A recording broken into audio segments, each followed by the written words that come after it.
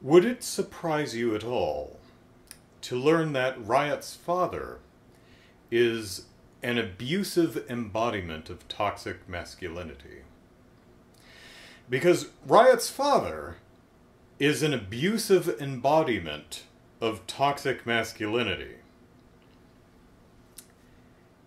Yeah, he's awful.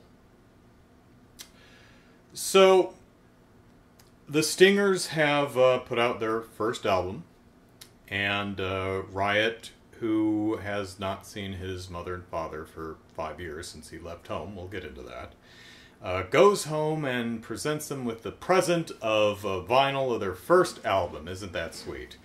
And his father, who is an abusive embodiment of toxic masculinity, says, How dare you set foot here with your sissy rock music and wussy, girlish, foofy hair, or whatever. Get out! No son of mine plays rock music, and he throws the vinyl album in the pool, and the mother's like, "Oh, honey, please, it's our son." Blah, blah, blah. Shut up, Mildred. Um, yeah, he, hmm, Riot's father's not good. So, um, Riot leaves. You know, says, "Goodbye, mother," and leaves. And uh, there's a party at uh, Stinger's Sound uh, celebrating their album, and uh, Jem the Holograms are invited. So uh, they they go to the party, and the camera pans across, and you see the Stingers, and it keeps panning, and you see Riot leaning against the wall. I'm like, "Eh? There are cardboard standees of the Stingers at the party, and they're in a couple shots, and it throws me off every time because I think there's an animation mistake where they drew the character twice. it's just cardboard standee. Um, another thing I noticed I- were the the Misfits aren't there. Were they not invited? They work in the same building. Did did nobody invite the Misfits? Cause did did anybody tell the Misfits? Because I imagine if they heard about it, they'd be there whether they were invited or not. It's true what I've been saying. Nobody likes the Misfits. Oh, aren't they going to be sore when they learn there was a party in the building they work at? And Jem and the Holograms were invited to attend, but they were not. Hmm. One of the Limp Lizards is there, uh, talking to Shana, so it's nice to see that they're friends. Lena Lerner is there, and Johnny Deacon or whatever eh, eh, the uh, the uh, the Jem Jam characters, right?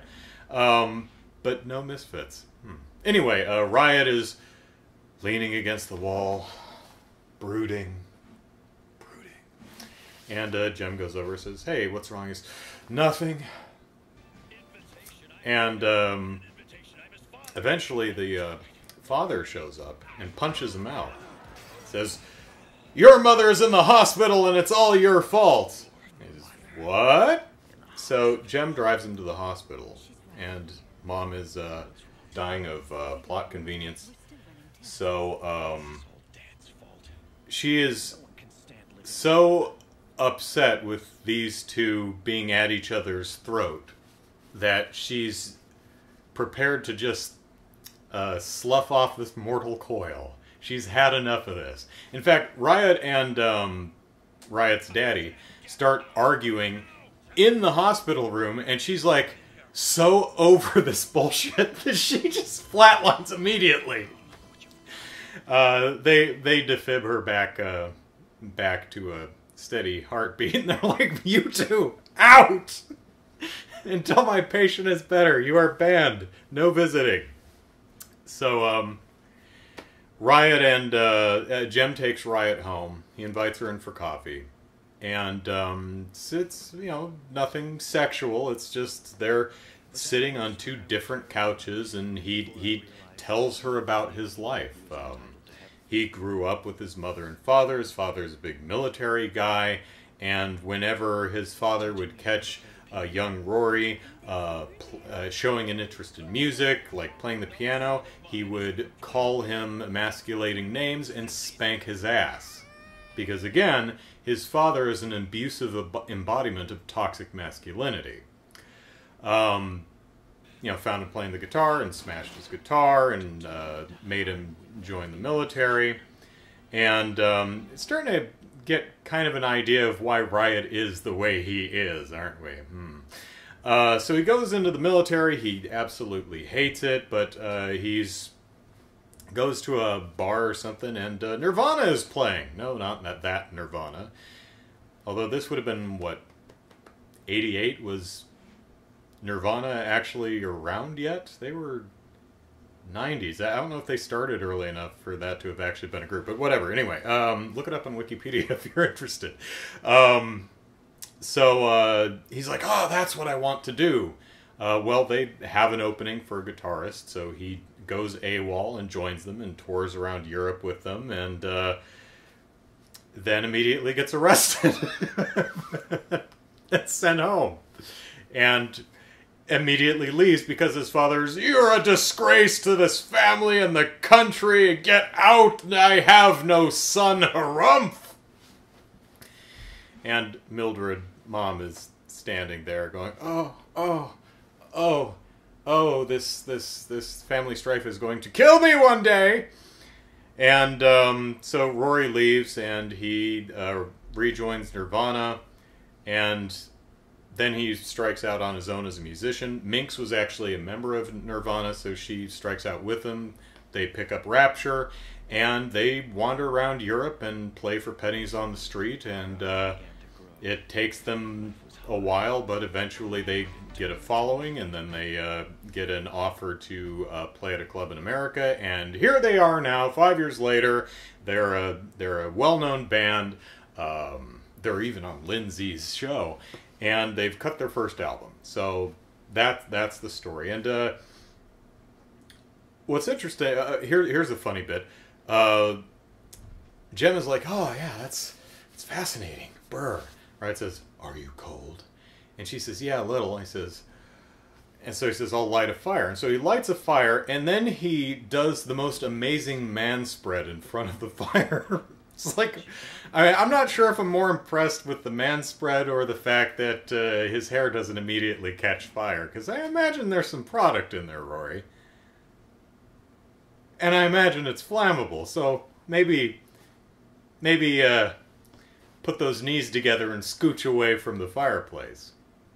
Uh, so they stay up all night, him retelling his, his history to Jem, and she's like, Oh, I understand you now. And she moves in for a kiss. I'm like, Ah, Jerrica, for crying out loud, make up your mind. Um, I mean, you know, we're all adults here. You can be attracted to more than one person, but for Pete's sake, please figure out what you want to do. Um, so Gemma's like, okay, these two are not going to talk to each other, and the mom is going to die if this keeps up. So I'm going to talk to the mom and see what's going on. So she sneaks into the hospital using a Synergy nurse costume, and I'm thinking, why don't you just visit during visiting hours? You weren't banned. Maybe it's family only. I don't know. But that's how she determines that, oh, okay, it's the it's the animosity and the, the strife between these two that's literally killing her. Uh, so she talks to Rory's dad and says, "Look." Uh, she talks to Rory and Rory's dad separately and like, "Look, you t- you guys got to get together and hash this stuff out because otherwise you are going to kill Mildred, and she's nice lady. She's not an abusive uh, uh, example of toxic man- masculinity. She nice." Um, Dad can go jump on a lake for all I care because I have no patience for people like that.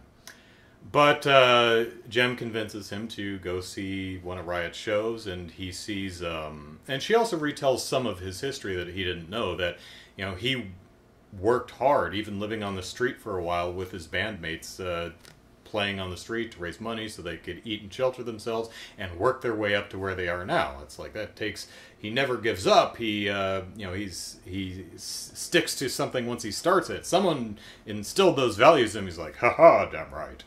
So, Dad goes to see Rory's concert. He's impressed. He's like, huh, he's doing, I don't like this music, but he's doing something that everyone likes.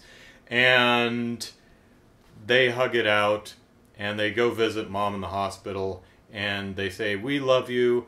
We don't want you to slough off this mortal coil, so we'll behave and we'll we'll we'll be nice and not scream at each other if you promise not to die. And Mildred says, Okay, I'll stick around a bit longer. But if you two act up, I'm just gonna keel over dead. Hurrah.